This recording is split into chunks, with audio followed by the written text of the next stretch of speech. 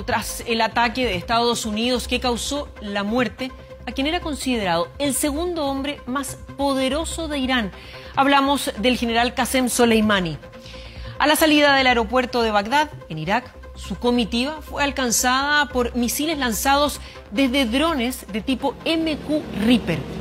Se trata de naves no tripuladas de 11 metros de largo y una extensión máxima entre sus alas de 20 metros. Tiene una autonomía de vuelo de hasta 42 horas. Pueden alcanzar una velocidad máxima de 480 kilómetros por hora. Y están acondicionados para transportar una gran variedad de armas, como por ejemplo bombas guiadas por láser, misiles aire-tierra y misiles aire-aire. Su precio, 30 millones de dólares. Destruido y completamente en llamas, así quedó el auto que transportaba a Qasem Soleimani, el máximo líder militar iraní que manejaba las operaciones extranjeras y que fue asesinado por Estados Unidos. No fueron necesarios soldados, sino que misiles enviados desde drones, lo que hizo explotar el convoy que lo trasladaba cerca del aeropuerto internacional de Bagdad en Irak, luego de desembarcar de un avión procedente de Siria o el Líbano. En el bombardeo murieron otras cinco personas, entre ellos un comandante militar. Él estaba planeando ataques en contra de los americanos, pero ahora nos hemos asegurado que sus atrocidades pararán. Que este sea un aviso para los terroristas. Si valoran sus vidas, no amenazarán la vida de nuestros ciudadanos. El presidente Trump tomó una decisión seria que era necesaria. Había un ataque inminente y el principal motivador del ataque era Qasem Soleimani. Él tiene la sangre de cientos de estadounidenses en sus manos y también asesinó a muchos musulmanes en Irak y otros países. Este ataque tuvo como objetivo interrumpir el complot y disuadir una agresión mayor, pero esperamos establecer las condiciones para el desescalamiento del conflicto. La existencia de pruebas de un ataque inminente desde Irán. Este fue el argumento del gobierno estadounidense para ordenar el bombardeo. Sin embargo, el Pentágono aún no ha comprobado la supuesta evidencia. La escalada de tensión entre Irán y Estados Unidos partió el 27 de diciembre tras la muerte de un ciudadano estadounidense por la milicia iraní en Irak. Donald Trump respondió con una incursión en la que murieron 25 miembros de ese grupo. Fue entonces cuando el último día del año, cientos de personas pro-iraníes atacaron su embajada en Bagdad.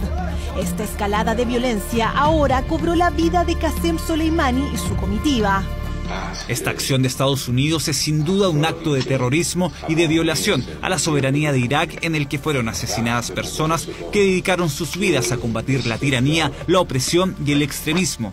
El general Soleimani tuvo un rol excepcional en la guerra contra el Estado Islámico y su sangre hará que el árbol de la resistencia sea más robusto. Estados Unidos convirtió en un mártir al comandante Qasem Soleimani ellos deben entender que sus acciones les traerán inseguridad de la región y que sufrirán consecuencias muy dolorosas. Conocido como el militar más importante de Irán y el segundo hombre más poderoso del país después del Ayatollah Yamenei, Qasem Soleimani tenía 63 años y fue una figura clave en las acciones militares expansivas iraníes en Medio Oriente. El gobierno de Trump lo acusa de haber asesinado a millones de personas en su búsqueda por expandir la red de milicias chiitas en la región. Trabajó activamente contra las sanciones estadounidenses en su país y se le atribuye la liquidación del grupo terrorista Estado Islámico en la región. Para los iraníes era considerado como un héroe nacional. Lo que nos acaban de hacer debería ocurrirle a ellos. Sus líderes deberían ser asesinados. Todos deberían morir. Estados Unidos debe prepararse para un golpe en la cara. Deben entender que debido al crimen que hicieron, no estarán seguros ni tendrán paz en ningún lugar. La muerte de Soleimani a manos de Estados Unidos ha desatado preocupación internacional por una eventual nueva guerra del Golfo. Desde la ONU hicieron un llamado a ejercer la máxima moderación para evitar un conflicto bélico. Algunos países como Israel, aliado estadounidense, apoyaron el ataque, mientras que China, en guerra comercial con Estados Unidos, hizo un llamado a la calma. Así como Israel tiene el derecho de la legítima defensa, Estados Unidos tiene exactamente el mismo derecho Qasem Soleimani es responsable de la muerte de ciudadanos estadounidenses y de muchas otras personas inocentes. Estaba planeando más ataques de este tipo. El presidente Trump merece todo el crédito por actuar con rapidez, fuerza y decisión. Hacemos un llamado urgente a ambas partes, especialmente a Estados Unidos, a mantenerse calmados y evitar una mayor escalada de tensión. En un comunicado conjunto, los presidentes Vladimir Putin y Emmanuel Macron señalaron que tras el ataque, la situación en Medio Oriente puede agravarse seriamente y terminar en una escalada de tensión sin control. Medios internacionales han calificado el ataque contra Soleimani como un llamado de guerra por parte de Donald Trump. Sus acciones que no pasaron por la aprobación del Senado han hecho cuestionar sus verdaderas intenciones acerca de la seguridad nacional, sobre todo considerando que se trata de un año electoral en el país. Lo que también espera Trump a nivel interno es que el ánimo por el impeachment presidencial disminuya, que su aprobación presidencial aumente, y que estas dos cosas contribuyan a asegurar su reelección presidencial en el mes de noviembre.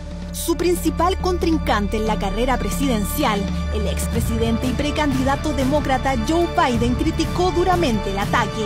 Soleimani mató a mucha gente en la región, civiles y tropas militares, pero debió haber enfrentado a la justicia.